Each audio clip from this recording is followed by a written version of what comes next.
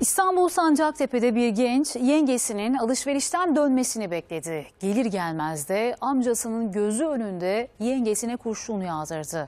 Ağır yaralı olarak hastaneye kaldırılan 58 yaşındaki Arife Arda ne yazık ki kurtarılamadı. Şok oldum beklemiyordum zaten. Ben birini vurduğunu da farkındaydım. Ben küçük çocuklar torpil falan attı sandım. Ama silahlı saldırıymış. Herkes neye uğradığını şaşırdı. Bir genç alışverişten dönen yengesine amcasının gözleri önünde kurşun yağdırdı. Korkunç cinayet İstanbul Sancaktepe'de yaşandı. İki çocuk annesi Arife Arda alışverişten evine doğru döndüğü sırada yeğeni Cihan Arda onu kapının önünde yakaladı. Yanında amcası da vardı yani Arife Arda'nın eşi de vardı ve amcasının gözleri önünde Cihan Arda yengesine yaklaşık 4-5 el ateş etti ve bu tarafa doğru kaçmaya başladı. Silahlı şahıs şu tarafa doğru koştu. Sonra buraya geldi.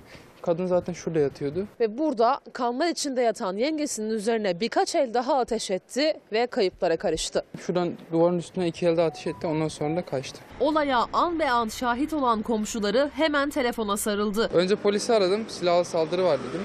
Sonra beni ambulansa aktardılar. Ama ağır yaralı olarak hastaneye kaldırılan 58 yaşındaki Arife Arda kurtarılamadı. Yengesini amcasının gözleri önünde vahşice öldürdükten sonra kayıplara karışan Cihan Arda polisin Ümraniye'deki kovalamacası sonucu yakalandı ve ardından da gözaltına alındı. İlk ifadesinde ise cinayetin sebebi olarak yengesinin kendisine büyü yaptığını iddia etti. Polisin olaya ilişkin soruşturması sürüyor.